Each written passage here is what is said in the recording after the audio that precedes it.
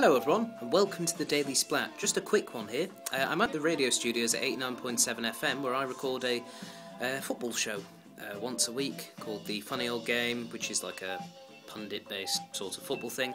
We've just finished uh, the last episode for the second series. I just thought I'd give you a quick look at the studio where we record everything. So, as you can see here, this is the, uh, the desk, which is where I'm normally uh, sat at.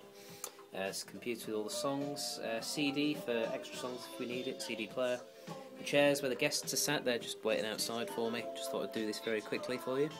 And it's it's a really proper little studio, and it's just such tremendous fun being here.